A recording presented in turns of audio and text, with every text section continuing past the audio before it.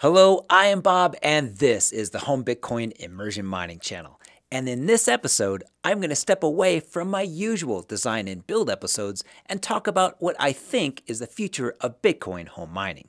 So, with that, let's get started.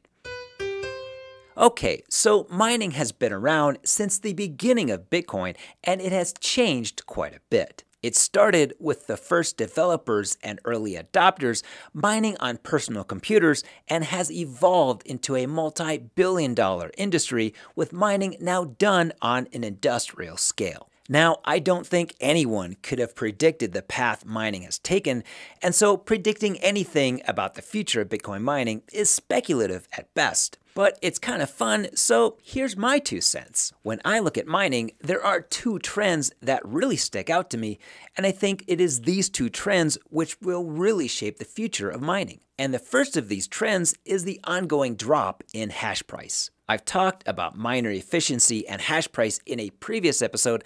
I've got a link above if you want to catch up. But if you look at the history of hash price, it's extremely clear that it's headed in one direction down. And I don't think there's anything that is going to change this trend anytime soon. The halving event will continue to occur every four years, reducing the block subsidy reward. The large industrial miners only have plans to expand their operations. Mining hardware are only getting more powerful. And although we might see a temporary spike in Bitcoin price in fiat terms, Overall, the price of Bitcoin is not likely going to keep up with these other effects. So, what does this mean? Well, the way I see it is if miners want to stay profitable, they are going to have to keep finding cheaper and cheaper sources of energy to keep their operating costs down. And that's clearly the case today. Miners are constantly searching for power stations with underutilized power. They are seeking out unwanted flare gas from remote oil wells as a source of cheap energy.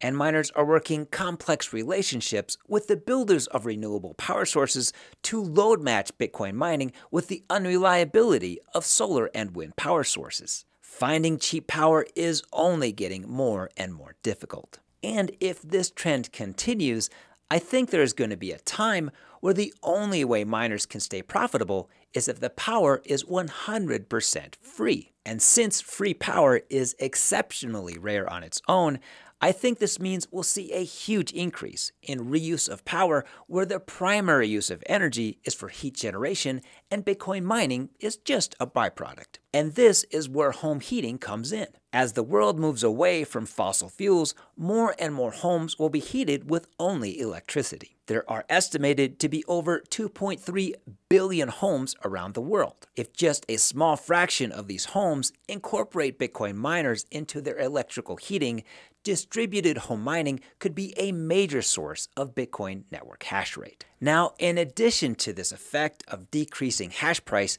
pushing more and more miners into using mining heat, there is another complementary trend in the mining hardware itself. It is well known that miners have continuously become more and more efficient in converting electrical power to Bitcoin hashes. But looking at the history of miner efficiency, we can clearly see the increases in efficiency between successive miner models has steadily been decreasing. With each generation of miner models, we're coming closer and closer to the engineering and physical limits for miner hardware efficiency. And as this trend continues, the differences between miners of successive generations are going to reduce to a point where the efficiency gains are near zero. And what this means is that eventually the cost of retiring a miner and replacing it with a new, more efficient model will become higher than the efficiency gain made in that hardware upgrade. Instead of swapping out miners every few years,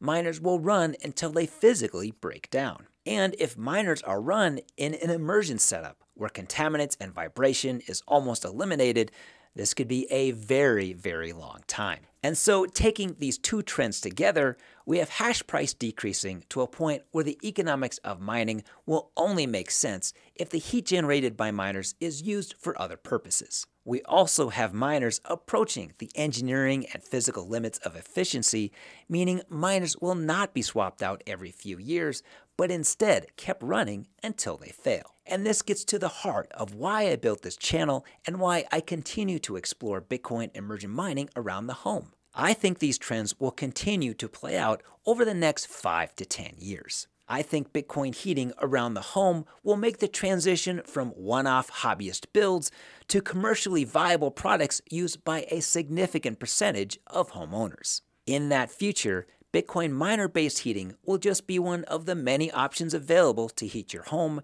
heat your hot water, your pool, your clothes dryer, and any other home heating application. And those commercially viable heating options will be developed based on lessons learned by us hobbyists building setups like those shown in this channel. So, this episode was a bit of a break from my normal design and build episodes.